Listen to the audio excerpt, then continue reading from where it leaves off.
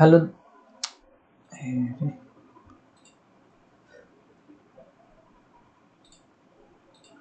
Hello दोस्तों, आज हम देखने वाले कि अगर आपने ट्वेल्थ में आर्ट्स लिया था और आर्ट्स में से अब अगर आपको करियर ऑप्शंस चूज़ करने आगे के लिए तो आप कौन कौन से चूज़ कर सकते हैं? या इस वीडियो में मैं बताने वाला हूँ। तो उसके लिए मैंने तीन कैटेगरी ली हुई, डिप्लोमा प्रोग्राम्स है। उसके बाद degree programmes and professional programmes.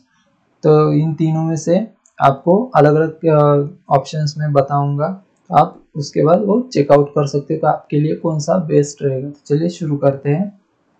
सबसे पहले देखते हैं डिप्लोमा प्रोग्राम्स तो डिप्लोमा में सबसे पहले डिप्लोमा इन एजुकेशन डी जिसे हम कहते हैं वो कर सकते हैं। उसके बाद डिप्लोमा इन फॉरेन लैंग्वेज उसके बाद डिप्लोमा इन होटल मैनेजमेंट ये भी आप कर सकते हो। उसके बाद डिप्लोमा इन इंटीरियर डिज़ाइन ये कोर्स भी आप कर सकते हो। तो ये डिप्लोमा प्रोग्राम्स से आगे देखते हैं कि आप डिग्री कौन कौन सी कर सकते हो अगर आपने आर्ट्स में से किया है ट्वेल्थ। तो सबसे पहले B A bachelor of arts उसके बाद B C A bachelor of computer application उसके बाद लॉ एल एल बी के लिए।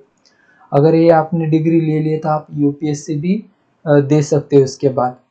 उसके बाद है प्रोफेशनल कोर्सेज तो जो प्रोफेशनल कोर्सेज में C A chartered accountant C S इन जैसे आप कोर्स कर सकते हो अगर आपने ट्वेल्थ आर्ट से पास आउट किया है तो।